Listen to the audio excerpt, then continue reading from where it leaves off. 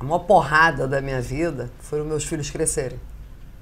Acho que até o meu processo de engordar foi preencher um vazio que eu, de eu ter ficado sem eles dentro da minha cabeça, porque eu nunca fiquei sem os meus filhos.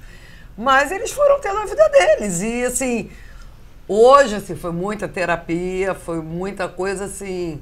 Hoje eu falo, cara, graças a Deus cada um tem a sua vida. As coisas mudam. Mas foi um processo muito sofrido, muito triste. Um dia eu falei para ele, cara, vamos na minha terapia, e é uma coisa conversada. E eu falei para ele uma vez, eu falei, é isso aí, eu tô na menopausa, eu sou uma velhinha, e se quiser assim, se não quiser, procura outra. Mas faz o que com amor? Eu acho que a gente tem amor o bastante para superar até isso e já está começando a ser superado. É porque eu não vivo só de uma trepada. Se fosse só uma trepada, eu não tava mais com ele. Eu já tenho um quarto marido.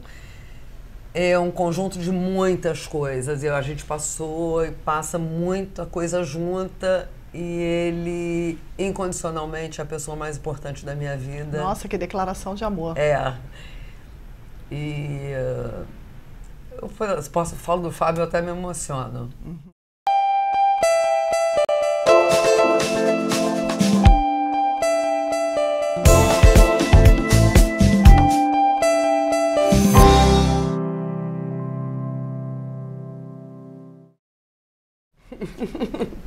Monique, prazer ter você aqui, depois de tanto Bom. tempo. Amizade, né? Assim, tipo, uma coisa. 35 anos, é. 30 anos, uma coisa. Deixa pra lá. Deixa pra lá. Bom, o seu tema é o melhor da temporada. Minha avó transa. Porque eu queria falar um pouco dessa história da libido e de toda a sua transformação na maturidade. E eu vou começar pelo shape. Vamos. 35 quilos a menos há um ano atrás. Conta esse processo para mim.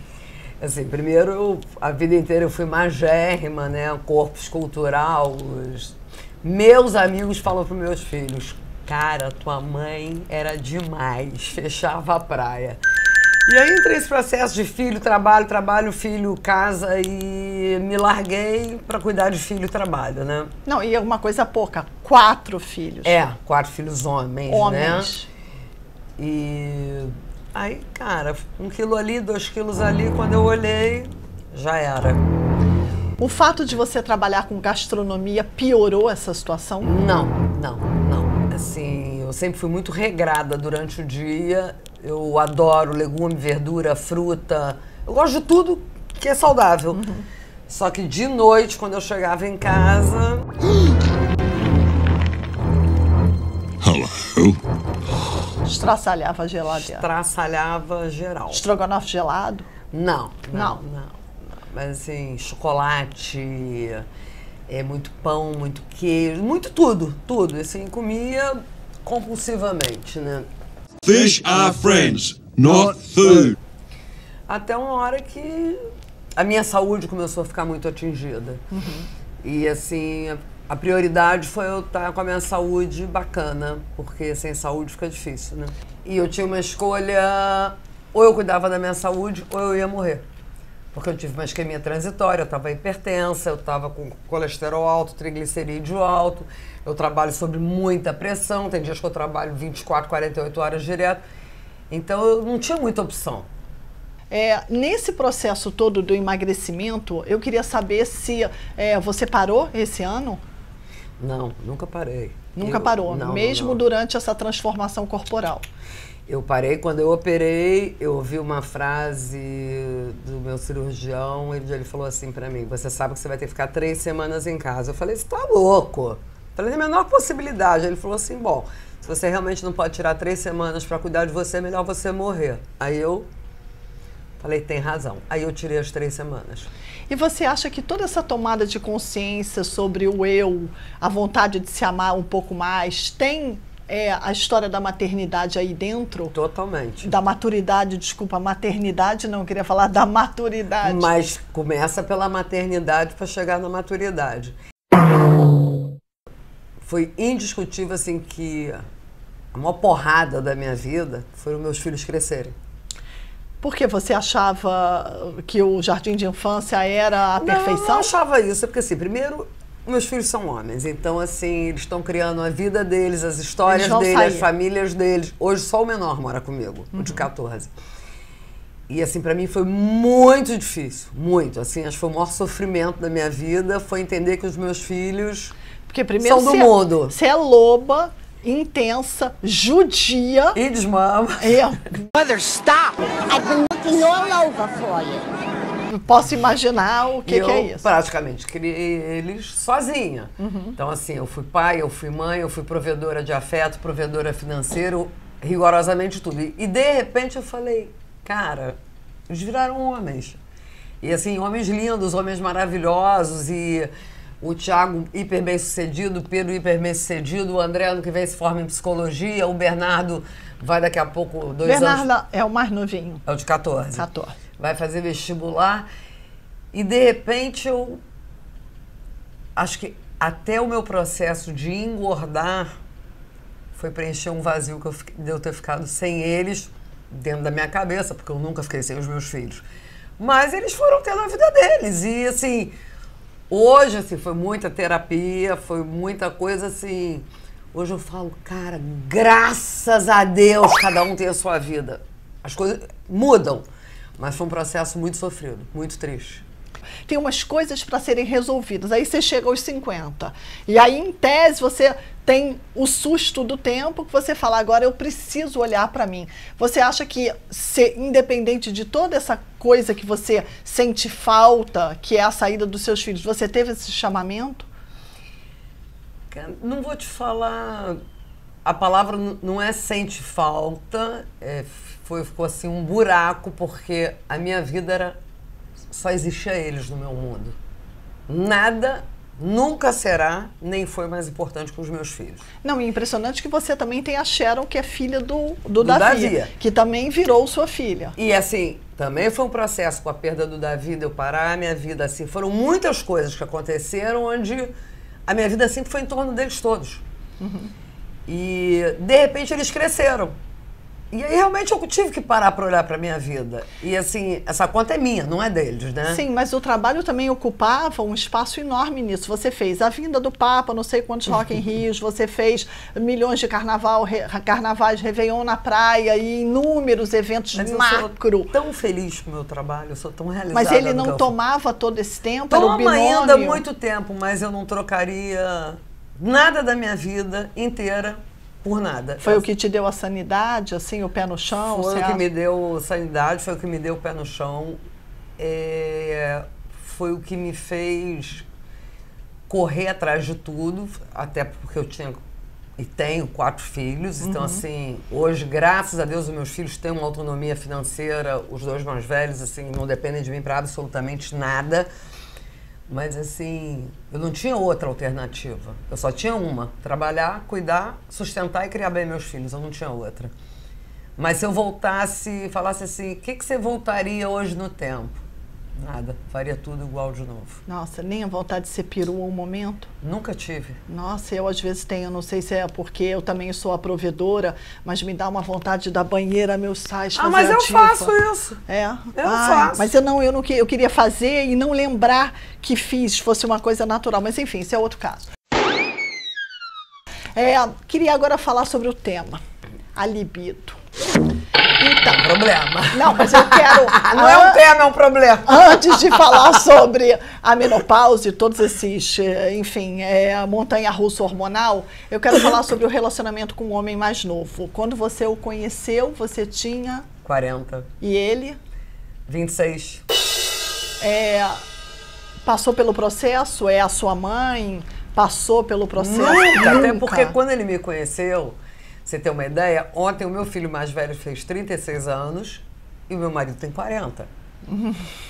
E quando ele me conheceu, ele mentiu pra mim. Ele falou que ele tinha 32. Aí eu já fiquei meio assim, eu falei, cara, como é que eu vou falar pros meus filhos que eu tô namorando um cara 8 anos mais novo que eu?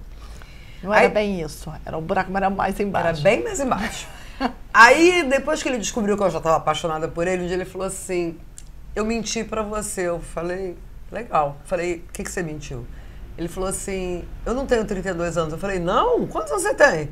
Ele falou: 26. Eu: Oi? Oi? Porque o meu filho tinha 22. Aí eu. Cara, mas assim, o Fábio tem uma coisa. que assim, a gente estava falando de norte, de eixo. O Fábio foi a pessoa que me deu o norte, que me deu o eixo. Porque assim, ele só é novo de idade, porque ele é um idoso de cabeça. Old man, no respect.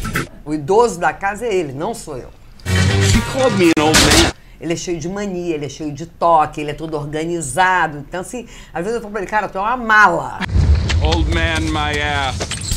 Eu insuportavelmente velho e Então, chato. E do jeito que você fala as coisas que eu te conheço, deve ser uma DR louca, Não alto-falante. É alto-falante. Detesto DR. Eu tenho uma amiga que fala, eu não tenho DR, eu tenho alto-falante. Ele, eh, ele é muito sagaz. Hoje, por exemplo, ele entrou na empresa e eu tava literalmente assim.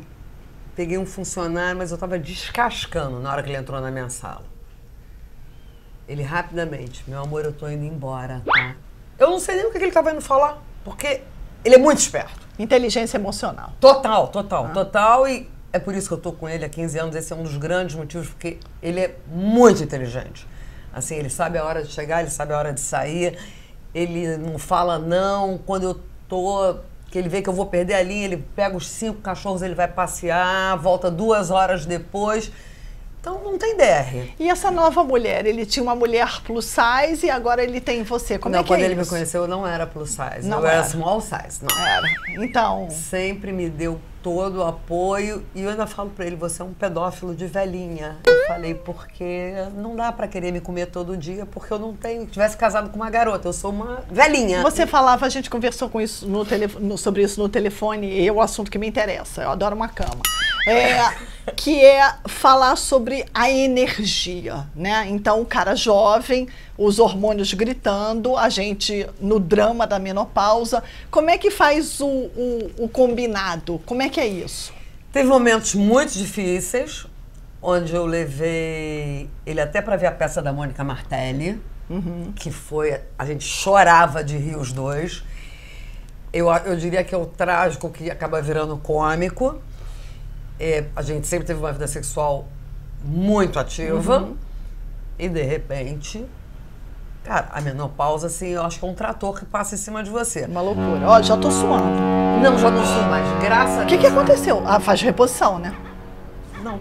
Não, mas o quê? Passou? Veio, passou? começou a melhorar de dois meses pra cá, mas eu sou uma pessoa que quando uma reunião eu falo, meu senhor, liga o ar que eu tenho menopausa, pelo amor de Deus. Não, eu falo mesmo, não tem o menor problema Não, em eu falar. também, é um calor, um fogacho que não, sobe. eu não sei, parece que você tá assim, incendiando É, é, de baixo daqui. pra cima. E um dia eu falei pra ele, cara, vamos na minha terapia, e é uma coisa conversada. E eu falei pra ele uma vez, eu falei, é isso aí, eu tô na menopausa, eu sou uma velhinha, e se quiser assim, se não quiser, procura outra. Mas faz o que com amor? Eu acho que a gente tem amor o bastante para superar até isso e já está começando a ser superado. É porque eu não vivo só de uma trepada. Se fosse só uma trepada, eu não estava mais com ele. Eu já Sim. um quarto marido.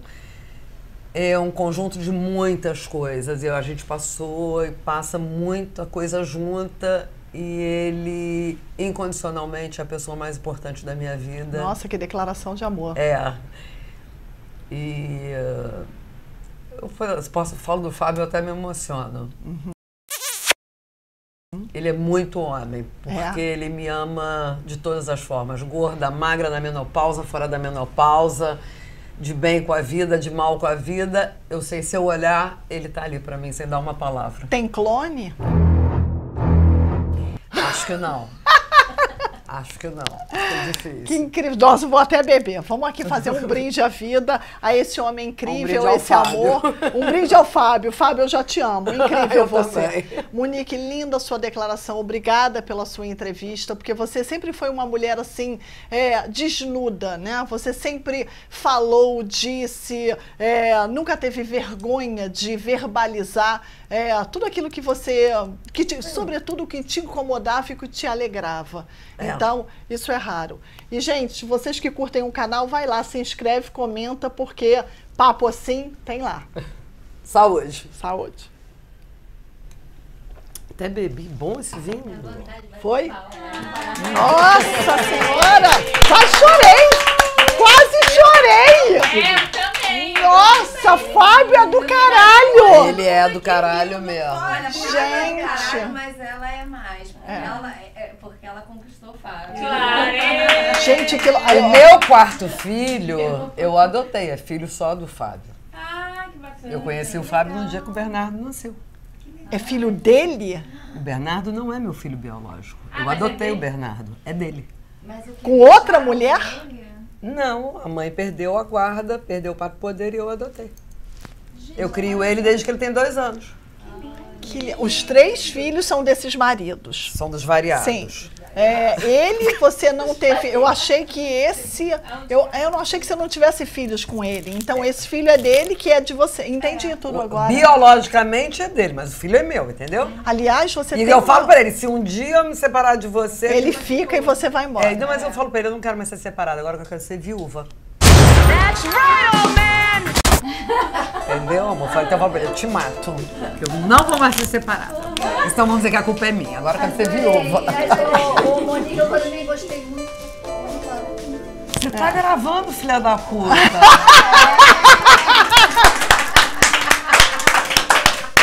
Sensacional! Querido, isso aqui é uma quadrilha. olha só, não isso aqui é uma quadrilha. Não tem problema, pode gravar. Mas é verdade, eu falo pra ele, eu quero ser viúva. É. Porque quatro vezes separada, vamos dizer que a culpa é minha, não é?